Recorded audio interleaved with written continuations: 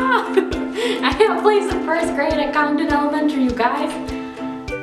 I'm so excited. I can't meet to meet all the little kiddos and like, oh my gosh, and the teacher is gonna be so crazy. So last semester I had fifth grade, which was really miserable for me, and I really am glad that I got put in the first grade classroom because they're really excited about reading, they're really excited about learning, they're really excited about everything, and so I can actually like do something I love first graders. They're so cute and they're willing to help and they want to do things like oh, it's gonna be so great. It's, it's gonna be so great. I cannot wait to start.